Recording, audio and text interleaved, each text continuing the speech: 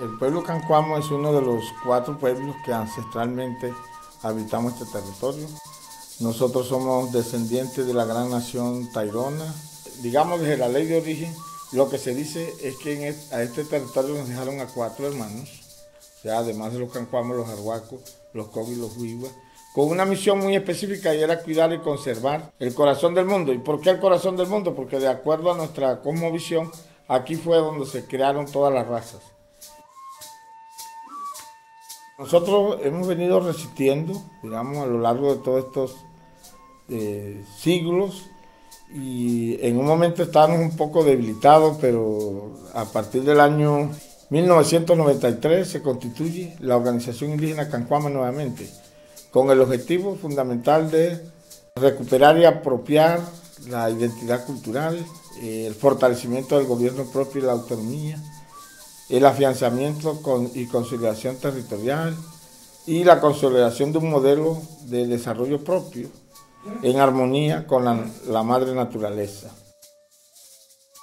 Estamos también en un proceso de lucha y resistencia que a nosotros como pueblo nos ha tocado, eh, digamos, enfrentar a lo largo de la historia, no solo en la época de la conquista y la colonización, sino luego cuando vinieron las bonanzas marimberas que nos afectaron a nosotros, Vinieron las guerras eh, de la violencia política, cuando se hablaba de la chulavita, por ejemplo, eh, y luego el conflicto armado, ya final que se conoce entre el enfrentamiento de las guerrillas, acá hay su presencia la FARC, el ELN, el EPL, con el, ejército, o sea, con la fuerza pública, y en medio de eso surgen los paramilitares también.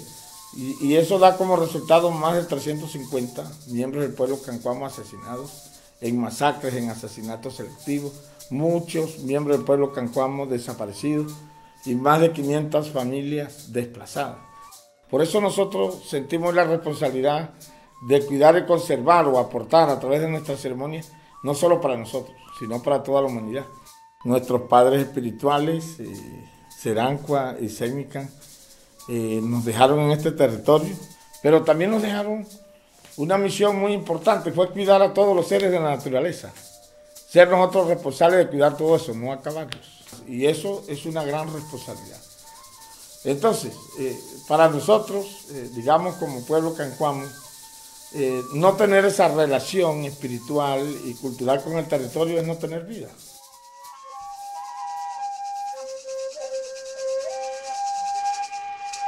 Un sumillano, el origen cancuamo para nosotras las mujeres viene a través de la historia, hace parte de la Sierra Nevada como la cuarta etnia que habita en ella y conserva nuestro territorio ancestral.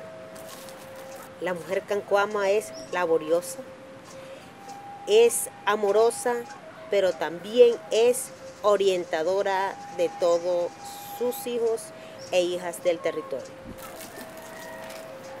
La mujer cancuama en ese ámbito es para dar la relación de habitualidad y orientación entre la familia, porque ella es la primera orientadora que ejerce a partir del hogar.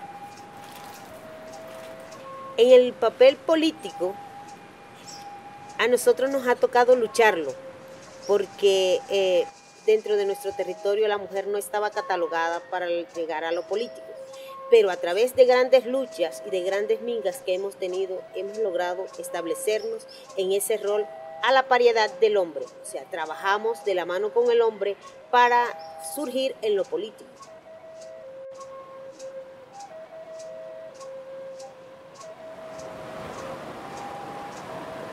El papel del río en mi vida, eh, como una madre, ¿no? Un padre que para nosotros, para mí personalmente, es eso, ¿no? Es, también sentir esa conexión con Él, porque Él es el que nos da eh, la fuerza, ¿no? La vida, por ejemplo, el agua para beber, para cocinar los alimentos, para todo. Son muchas las amenazas que hay eh, respecto no solo a la comunidad, sino al pueblo y a la misma sierra como tal la minería, los megaproyectos, eh, las represas y todo ese tipo de cosas que van atentando eh, en contra de la vida de la misma comunidad, del buen vivir de toda la sociedad, del equilibrio, de la armonía de la madre tierra. Es una gran amenaza que hoy tenemos, porque si el agua está contaminada, pues obviamente nosotros vamos a tener enfermedades. Y creo que esa es una de las preocupaciones más fundamentales que ahorita como jóvenes eh, eh, tenemos de que se puedan eh, extinguir esos recursos que tenemos. Nosotros hemos intentado con acciones ¿no? de transmitirle los conocimientos, de transmitirle lo que es la tradición, la cultura. Entonces, en las mismas escuelas, ellos se han ido empoderando ¿no? en su mayoría se han empoderado de ese tema, sobre todo el tema del medio ambiente, ¿no? del cuidado de los ríos y también apoyando esas iniciativas ¿no? y esas semillas que están por crecer para que puedan también seguir defendiendo nuestro territorio y pueda seguir permaneciendo de generación en generación. Es importante ese apoyo más que el tema eh, económico, es un tema como de, de concientización, ¿no? De que estos recursos se nos van y no volverán.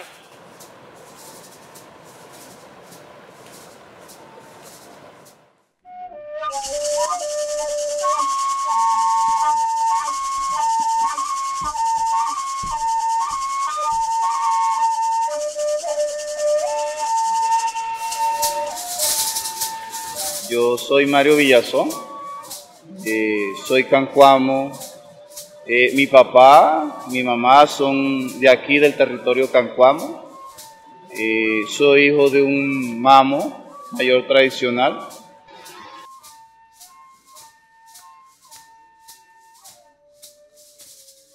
en general los jóvenes tenemos la responsabilidad de, cuidar y conservar la sabiduría.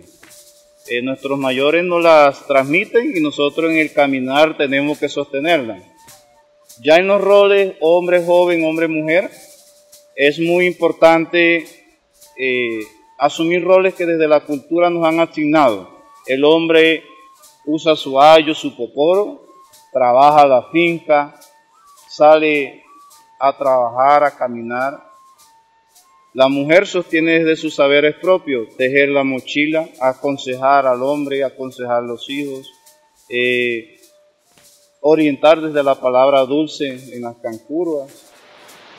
Los hombres cancuamos son eh, eh, la armonía que nosotras las mujeres necesitamos para poder procrear en el ámbito social, económico y cultural nuestra familia. Y si realmente no tenemos hombre, pues no podemos eh, pensar en familia. Y una cosa que, que me gustaría que ellos colocarle, no cambiarle, sino agregarle a ese pensamiento es creer más en la capacidad que tenemos nosotras las mujeres de liderar y ser ejemplo ante los diferentes procesos, no de nuestros resguardos, sino del mundo.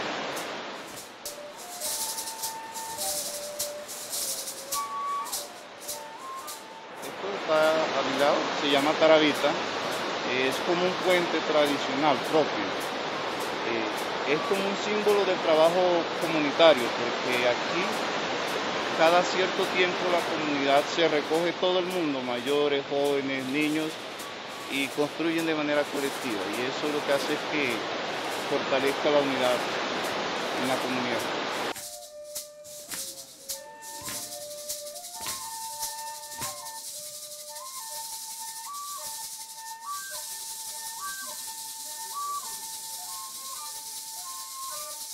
Hay procesos de liderazgo que le abren espacio a los jóvenes. Hay algo que se llama la Comisión de Jóvenes Cancuamo, que es un espacio donde los jóvenes también debaten y construyen, pero también en las prácticas diarias, en las reflexiones, en las cancurvas, es un espacio donde nosotros también compartimos lo que hemos vivido y en el trabajo colectivo de la comunidad, que siempre hay actividades colectivas, de trabajos comunitarios, de caminos, de hacer casas, Cancurva.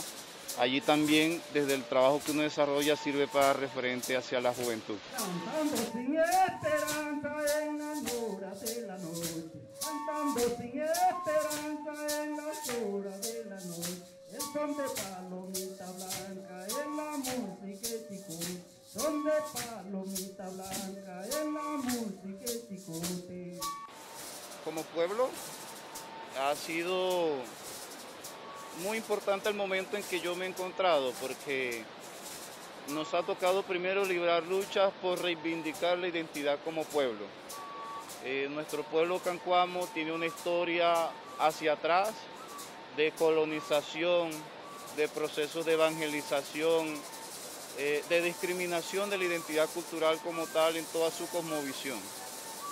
Eh, hace 25 años atrás, eh, mayores decidieron reivindiquemos la memoria del pueblo cancuamo y asumámosla como tal. Hoy eso nos ha permitido que jóvenes vayamos en secuencia. Una de, las principales luchas nuestras es seguir reivindicando la identidad cultural, la espiritualidad, eh, la cosmogonía como pueblo cancuamo. Todo este aprendizaje nos ha llevado a, enfrentar momentos que han sido importantes para el crecimiento de uno como líder, pero también para el crecimiento como pueblo.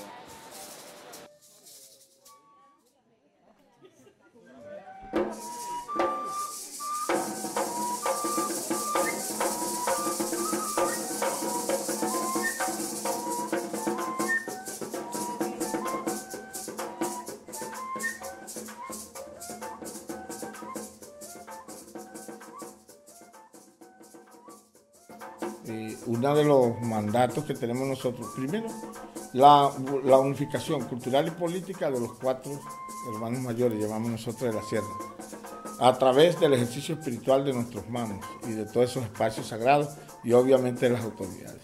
Y la experiencia que nos dice que cuando nos hemos unificado los cuatro hemos ganado, estamos fuertes. Pero hoy somos conscientes que los cuatro solos no lo vamos a poder lograr. También es importante la unidad con los otros pueblos indígenas de Colombia de América y del mundo, pero también la unidad con todos aquellos hermanos y hermanas eh, del mundo que se identifican con estas luchas. Porque es que lo que estamos viendo es que todas estas políticas obedecen también a unos acuerdos de esos poderosos que se unifican frente a nosotros. Y de pronto nosotros estamos luchando muy aislados. Y por eso hoy también hay que aprovechar las estrategias, la, la, las oportunidades que nos dan los medios de comunicación y demás para globalizar la lucha y la resistencia.